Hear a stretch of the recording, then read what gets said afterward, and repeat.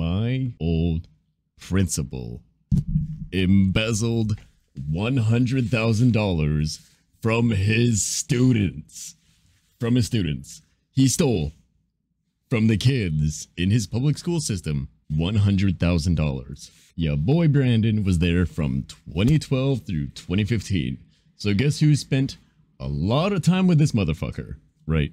So these two stole $100,000 from your kids in Aurora, Colorado. Stole from shit, me, my mom, my friends' moms, my friends, and Jill Watkins. She was the nastiest sitting in the front fucking desk. She was authoritative. She was she was the lady that would yell at girls for wearing like decent like just for showing their shoulders and shit. She was the enforcer of all that bullshit. So it just I yeah.